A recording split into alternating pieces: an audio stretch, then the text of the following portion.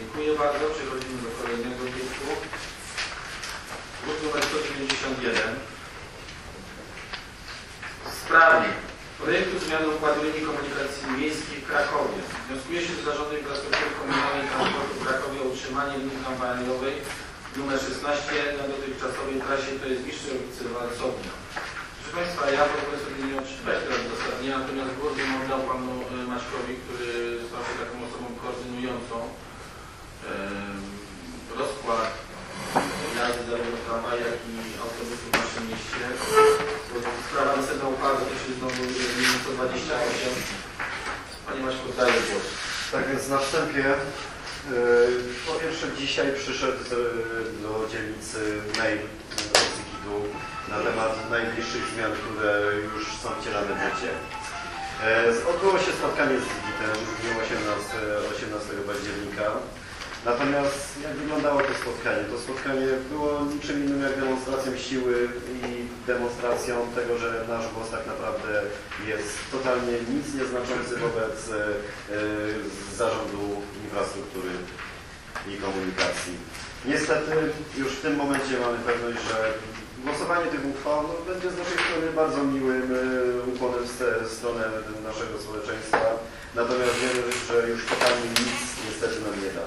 E, Wszystkie zmiany, które zostały zaproponowane przez dzielnicę, zostały przez ZIKIT odrzucone, nie licząc kosmetycznych poprawek e, e, rzędu jednych, dwóch linii. ZIKIT praktycznie zaprezentował swoje stanowisko na zasadzie, że nie była to rozmowa, nie były to pertraktacje, tylko to było pokazanie, tak zrobimy, a dzielnica mogą się za przeproszeniem. E, Niestety praktycznie Praktycznie wszystko zostało odrzucone, zbombardowane. Tutaj pięć dzielnic e, e, ze sobą współdziałało pod względem tych zmian. E, Część z nich jeszcze nie była zbytnio przygotowana merytorycznie. Całość koordynuje pan Marek Sikora z siódmej dzielnicy i z nim kontakt jest najlepszy. Z, z nim również można dalszą akcję, która w tym momencie wobec tych zmian będzie zarządzona. Około 17-18 zmiany wejdą w życie. Tak, tak, wtedy będzie uruchomiona ta pętla. Tak jak wcześniej by to wyglądało, będziemy mieli 21 i 52 z Piastu przy likwidacji dziesiątki. 16 nie zostanie skierowana pod hutę. 128 również e, nie będzie w takiej formie, jak, jak chcieliśmy. E, no praktycznie no, ciężko mi to powiedzieć, ale porażka została no, odniesiona na każdym kroku, ale to we wszystkich dzielnicach. Jedyny, jedyny w tym momencie ten krok z naszej strony, jaki może być, to poczekanie na wcielenie tych dzielnic, e, na wcielenie tych zmian w życie i zrobienie akcji społecznej, którą już z panem Markiem Sikorą e, zaplanowaliśmy. Będzie to promowanie e, głosów społecznych, które już do nas spływały, e, prawda, mailowo, tutaj Agnieszka mi wszystko przesyłała, także na bieżąco widziałem, jakie były głosy. Będzie to zarówno przez media społeczne, na zasadzie zrobienia niezależnych badań społeczeństwa, ponieważ ZIKIT nasze głosy, że taka jest chęć społeczeństwa, bombardował tabelkami, wykresami oraz pomiarami na, na to natężenia komunikacyjnej w danych e, godzinach e, w ciągu dnia, ale jak wiadomo są to ich badania, dlatego... Wewnętrzne. Tak, są to wewnętrzne badania, dlatego idealnie wszystko im wychodziło to, co chcieli. A niestety, no to jak pan Marek Sikora akurat no, jest najlepiej zorientowany, ponieważ sam jest kierowcą w MPK, a oprócz tego jest radnym, także był dzięki temu najbardziej e, zaangażowany w całą akcję. No i niestety, ale sam wskazuje na rzeczy oczywiste, gdy autobusy już w tym momencie w godzinach szczytu e, potrafią być przepełnione maksymalnie, a tutaj dochodzi do kolejnych cięć. E, No, zmiany na pewno z tego punktu widzenia, szczególnie osób starszych, będą negatywne, bo e, albo zostaliśmy odcięci tutaj no, od centrum poprzez to 128.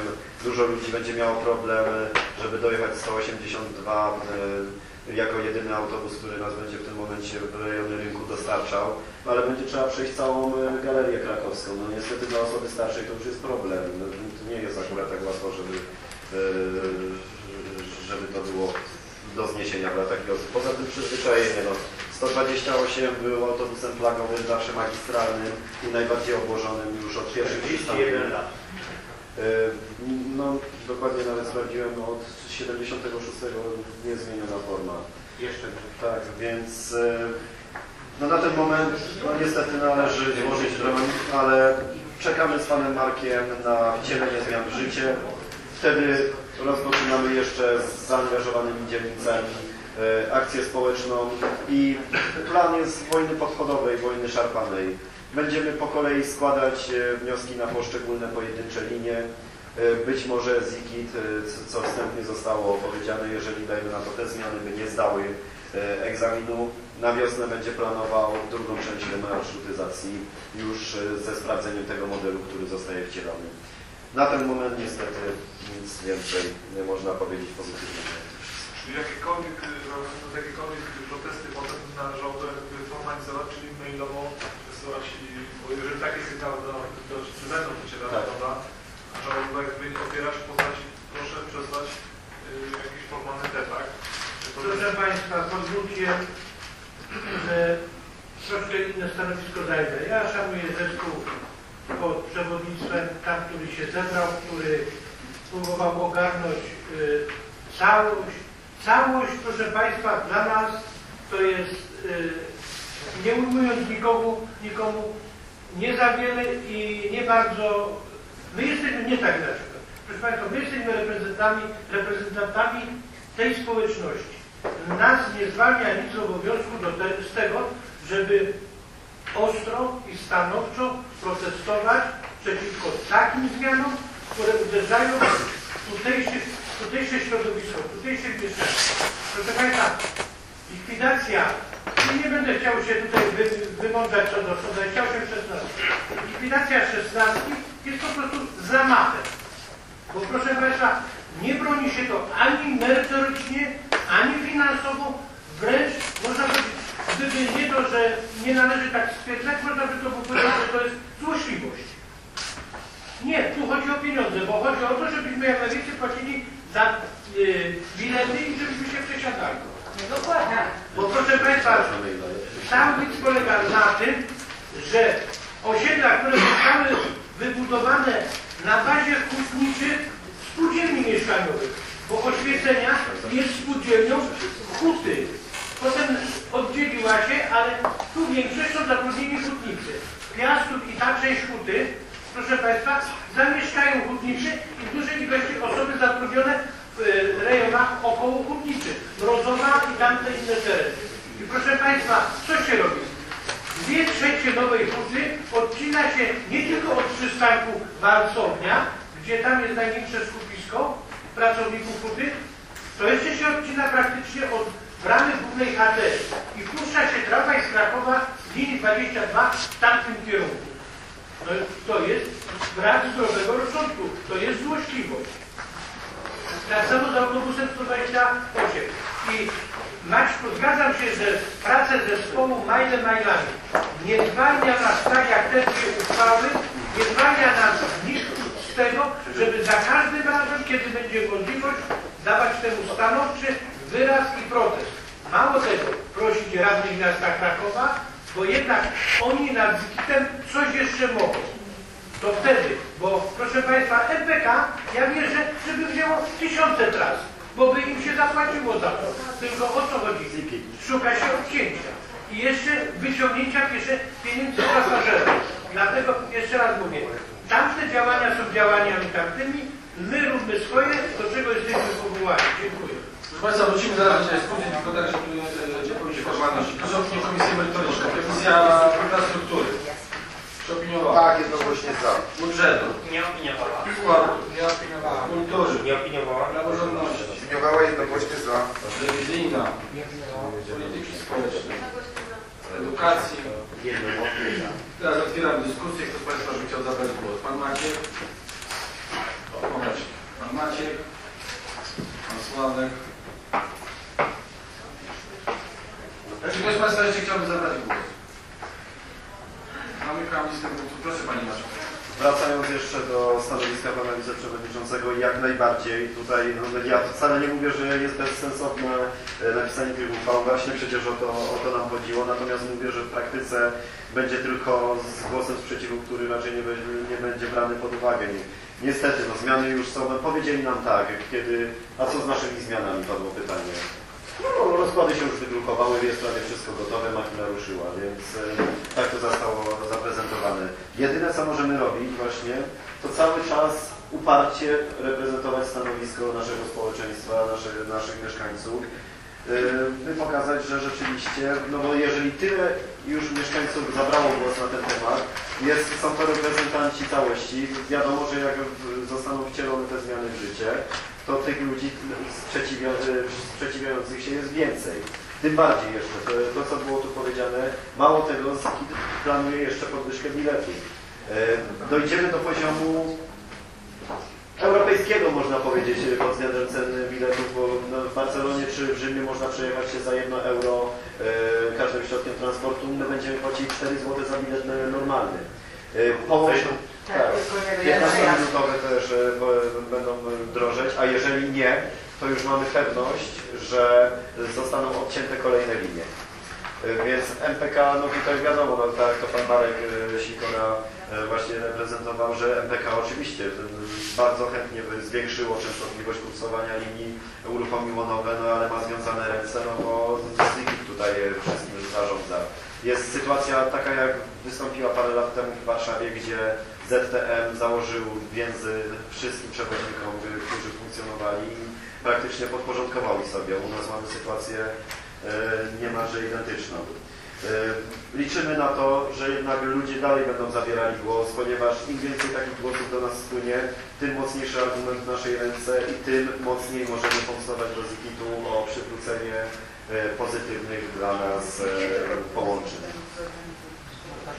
Więc no jest tutaj pewne, jeżeli dojdzie do, e, do tych zmian i jeszcze bilety jednocześnie podrożeją, możemy się spodziewać no naprawdę sporego sprzeciwu. Macie jeszcze mam takie, ale te, te głosy w formie protestu, to nie w formie jakichś petycji, podpisów, czy, czy tylko... E, Zostało, e, zostało uformowane każda z dzielnic, która brała udział tutaj w spotkaniu, czy też korespondowała w ogóle w, w tej sprawie, wysłała, wysłała do pana Marka swoje stanowiska i został uformowany jeden konsensus, który został przekazany e, do Zikitu.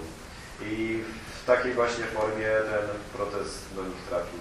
Więc no to jak ja na przykład miałem e, tutaj dużo głosów społecznych, zacytowałem je, prawda, że częściowo, częściowo to przekułem na, na własną opinię i przesłałem e, do pana Marka. On z tego zrobił jedną dużą broszurę i rozbił to na dzielnicę. Każda dzielnica miała własne uwagi tak to zostało. No dobra? Momencik, zobaczę czy mam to. Dobrze, czy pan Paweł jeszcze, znaczy pan yy, Maciek, czy jeszcze? Sławku? Znaczy mnie bardzo irytuje przede wszystkim bierność e, Rady Miasta, gdzie, gdzie nie widać jakichś e, głosów, głosów sprzeciwiających się i to z każdej opcji politycznej. E, przede wszystkim druga rzecz, która mnie irytuje, to brak informacji w mieście na przystankach autobusowych informujących społeczność i każdej dzielnicy o tym, że takie zmiany w ogóle będą następować. No przede wszystkim no, największy e, dostęp oczywiście mają młodzi ludzie do, do internetu i oni się mogą między sobą e, informować, no ale starsi już mniej. Chaos, który nastąpi w połowie listopada, no to będzie pokłosiem faktu, że, że tych wszystkich, że, że te informacje przede wszystkim nie są e, wprowadzane w, w obieg. No jedną z cech dobrego społeczeństwa to społeczeństwo, które jest oparte na stabilności. A tak, takiej stabilności przede wszystkim e, nie ma. To jest jedna rzecz. Trzeba wziąć pod uwagę, że jesteśmy, proszę Państwa, i każdy z nas e, dobrze o tym wie. Jesteśmy dzielnicą peryferyjną, przy głównych arteriach komunikacyjnych tych rozbloków. 56 tysięcy ludzi zostanie odciętych od głównych środków transportu z dwoma lub trzema przesiadkami. No to, drodzy Państwo, no nie jesteśmy Warszawą, która może sobie pozwolić, jak czytałem gdzieś jeden z, jedną z opinii z IKIT-u, że przede wszystkim mają być e, trasy tramwajowe i trasy autobusowe e, z przesiadkami do głównych linii, ale my metra nie mamy, żebyśmy mogli tak jak w Warszawie się przesiadać, więc to jest akurat chybiony pomysł w tym przypadku. I proszę sobie zobaczyć w tym momencie, gdzie mamy jedną linię 159, którą dzisiaj rano nawet wsiadając e, do autobusu na dole przy kombatantów, e, 105, ze 159 wylewa się o 6.30 e, rano pół autobusu, żeby się przesiadało na 178 na 128. Więc to już jest trzeci przystanek, a jest już przystankiem e, e, przesiadkowym. A gdzie jeszcze jest Wiśliwska? Pomijam fakt Ronda Mogielskiego, na którym wiecznie są e, schody nieczynne, dla osób starszych ma, matek z wózkami. Jest to niesamowity problem przejścia. My mamy cztery pory roku, a nie jedną. Nie stoimy sobie w eleganckich warunkach. Brak wiata, jeśli jest to jest jedna. E, następno, no jeżeli 128 pojedzie pod uczenie pana profesora Majkrowskiego, no to, to przepraszam bardzo, dwie przez ruchliwe ulice trzeba przejść, żeby przesiąść się na tramę, który jedzie e, przez ulicę e, Dipla.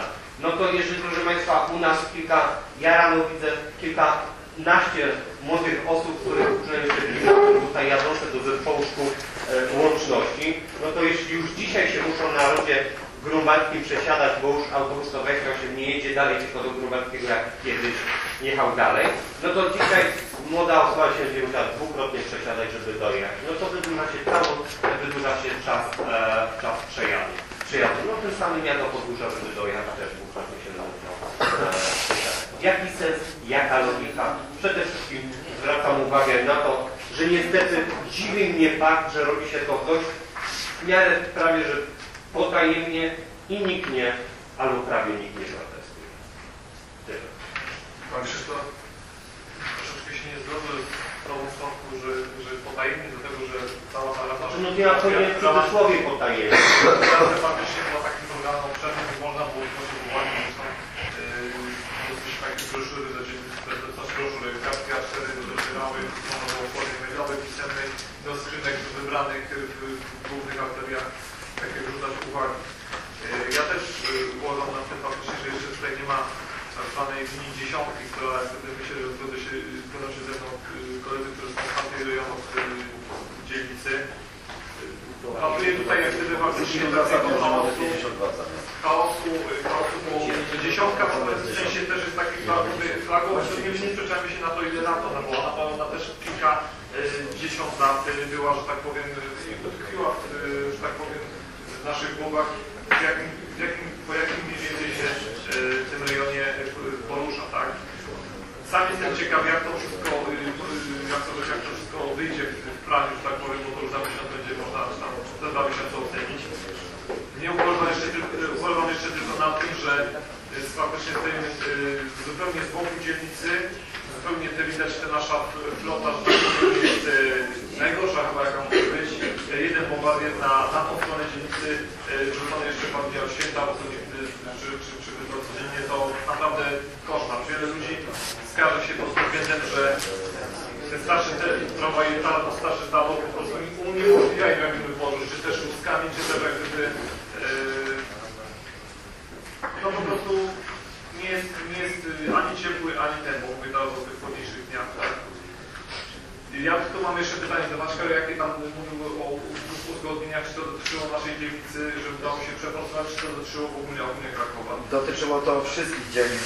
Jedna zmiana chyba jaka tam weszła, to w, dzielnicy ósmej tam się na coś zgodzili. Tak to wszystko zostało stor- storpetowane przez ZIGI. Yy, Za każdym razem bardzo ładnie merytorycznie zasłaniali się swoimi ładnymi badaniami, więc nic, nic totalnie nie przeszło. Natomiast też sami wprowadzili jeszcze zmiany do swoich zmian. Na przykład już w magiczny sposób zniknęły linie, które miały się u nas pojawić na dworcu podmiejskie. 250, 260, 270, 280.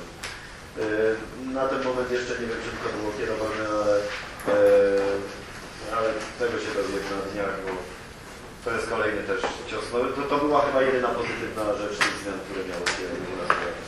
Na koniec, słuchajcie, na koniec jedno powiem, bo to takie, jak to mówią, i, i, i i śmieszno i straszno.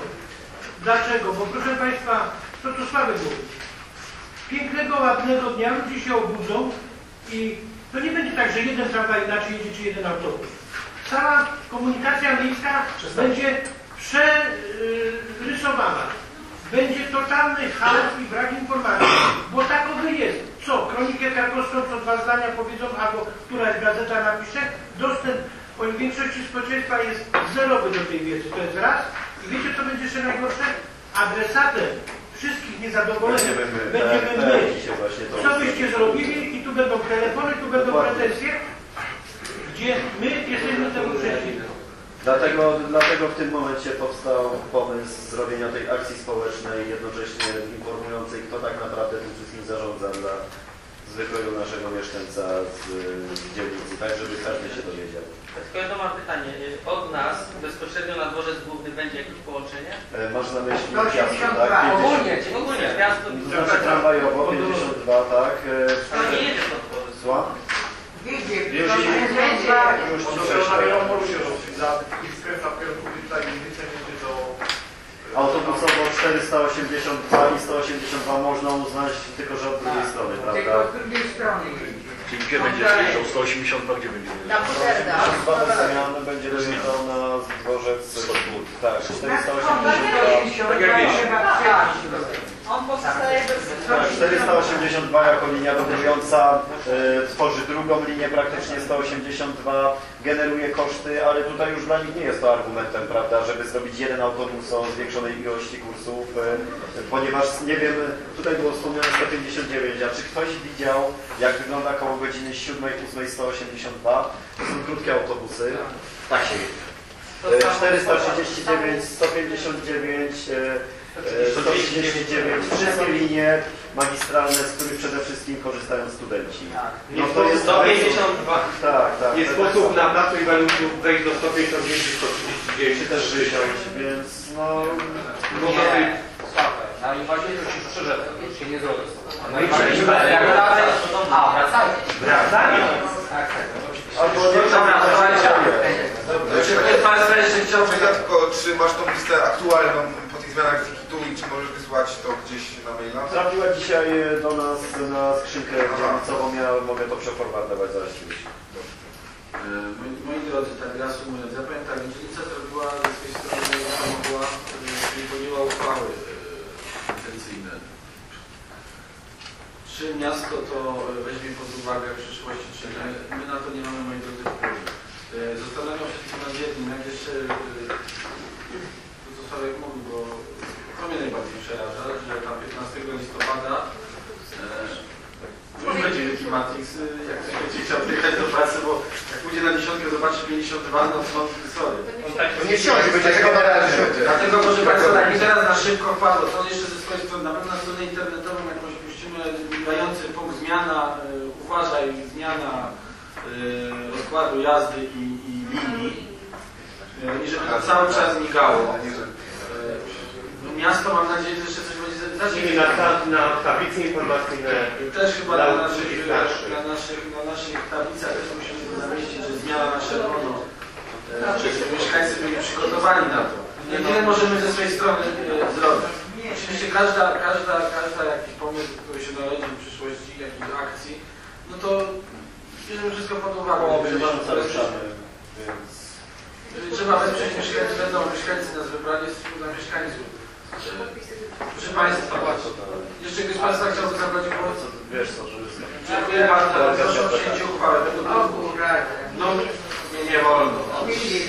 Druk numer 191 w sprawie projektu zmiany układu linii komunikacji miejskiej Krakowie. To jest za.